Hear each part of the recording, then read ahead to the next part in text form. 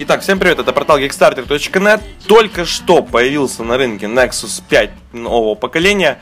Это тот же самый смартфон, который слит был всеми мыслимыми и немыслимыми способами.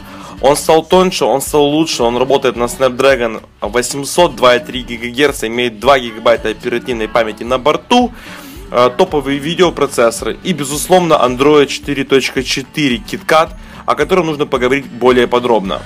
Одно из самых главных нововведений, которое произошло в системе, это, безусловно, ее редизайн. Теперь доступно новые функции, такие как работа с, э, с эмоджи смайлами, встроенными, такими же, как в айфоне.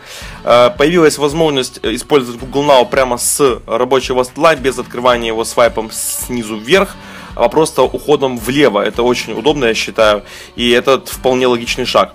Сам Google Now можно запустить теперь голосом, по аналогии, как это происходит в Moto X, просто сказав «Окей, Google». Безусловно, смартфон э, получился очень приятный и очень крутой. Особенно порадовала цена. Версия на 16 гигабайт обойдется пользователям в 350 долларов.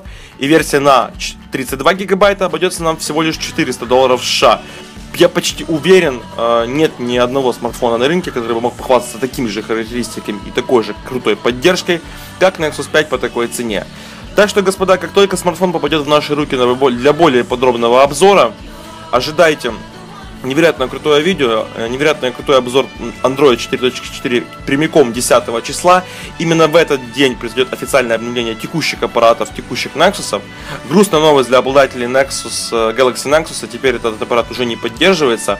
Среди девайсов, которые официально получат новый Android 4.4, это э, Nexus 4, Nexus 7 прошлого и текущего поколения, Nexus 10, Google Edition смартфоны HTC One и Galaxy S4.